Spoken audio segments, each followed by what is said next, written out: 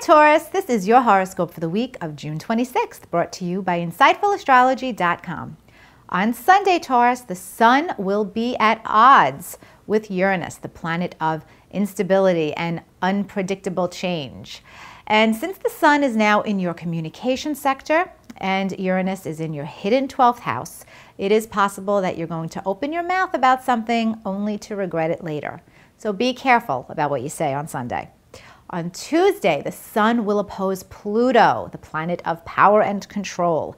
Pluto is now in your ninth house of the higher mind. And again, the Sun is in your third house of communication. It is possible that you're going to have a mental power struggle with somebody in your life. This could be a sibling, a neighbor, and it's also possible that this could be a mentor or teacher in your life. So be open to what the other person is saying and don't automatically discount their ideas.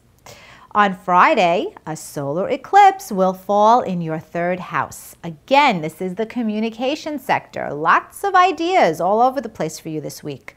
A solar eclipse does signal a new beginning in either a contractual matter or communications related project or any kind of idea that you want to set out into the world.